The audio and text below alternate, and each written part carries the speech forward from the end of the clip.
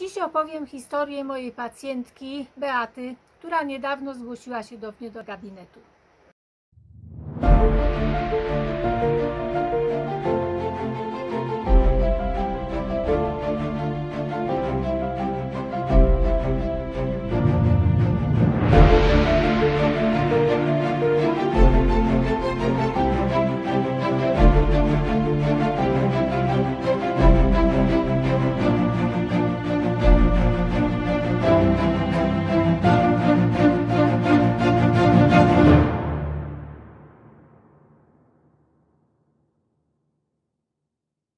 Pani Beata jest młodą osobą, u której wystąpiły dwukrotnie w życiu napady padaczkowe.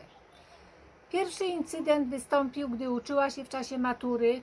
Wiązało się to e, z długim uczeniem, z zarywaniem nocy, z niedoborem snu, z piciem dużej ilości Coca-Coli oraz z niedoborami jedzenia i wody.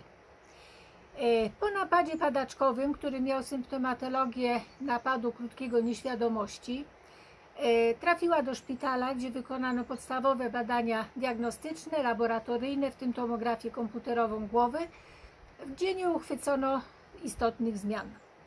Wypisana została ze szpitala bez leków e, z rozpoznaniem pierwszego incydentu padaczkowego.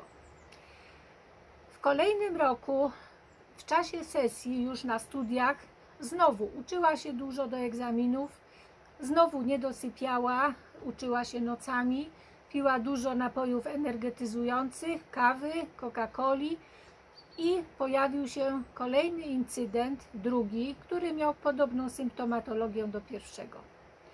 Gdy zgłosiła się do lekarza, neurolog zalecił jej koniecznie stosowanie leków przeciwpadaczkowych.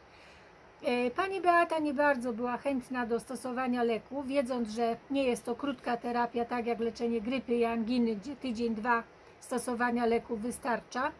Tutaj trzeba brać leki kilka lat i być bez napadów, żeby można było myśleć w ogóle o ich redukcji czy odstawieniu. Pani Beata z tym zapytaniem przyszła więc do mnie. Wykonane badanie EEG wykazało niewielką tendencję do zmian napadowych, zwłaszcza w czasie hiperwentylacji. E, natomiast e, był to dylemat dla mnie również, co dalej z pacjentką zrobić. Pani Beata mówiła, że postanowiła regularny tryb życia prowadzić, czyli wysypiać się, e, ograniczyć albo w ogóle odrzucić napoje energetyzujące i chciała zostać bez leków. I na tym żeśmy poprzestały. Umówiłyśmy się, że jeżeli cokolwiek by się zdarzyło, to pani Beata przyjdzie ponownie i wtedy zdecydujemy, czy te leki będziemy włączać, czy dalej będziemy e, czekać na rozwój wydarzeń. Natomiast pani Beata zadała kolejne pytanie, chodziło mianowicie o prowadzenie samochodu. W tej sytuacji odradziłam pani Beacie prowadzenie samochodu, dlatego że jednak w czasie hiperwentylacji była pewna tendencja do napadowości w zapisie EEG.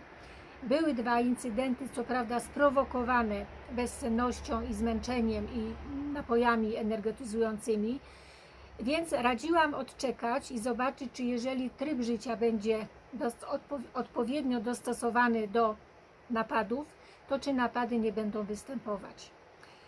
E, leczenie padaczki jest dość trudnym tematem. Prowadzenie samochodu w padaczce jest również trudnym tematem. Wielokrotnie ten temat był poruszany na różnych zjazdach neurologów czy epileptologów.